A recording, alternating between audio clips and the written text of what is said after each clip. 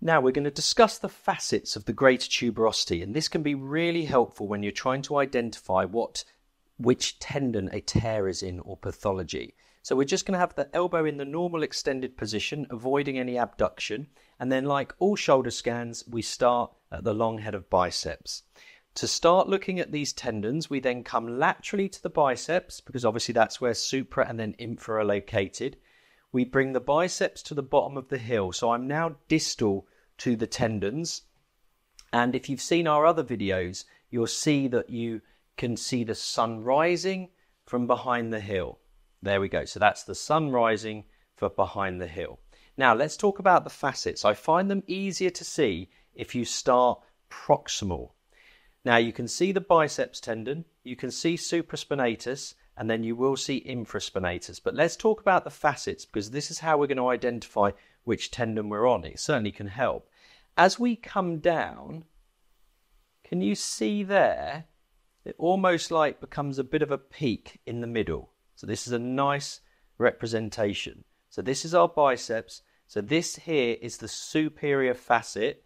So that will be where supraspinatus is. And this is the middle facet and this is where infraspinatus is.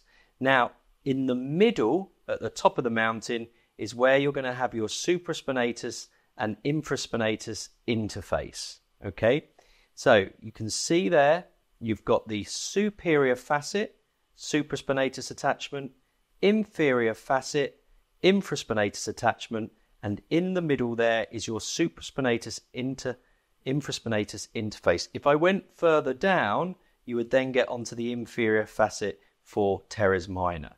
So just remember, come nice and high. You can see the articular cartilage, so you know you know you're quite proximal on the tendon.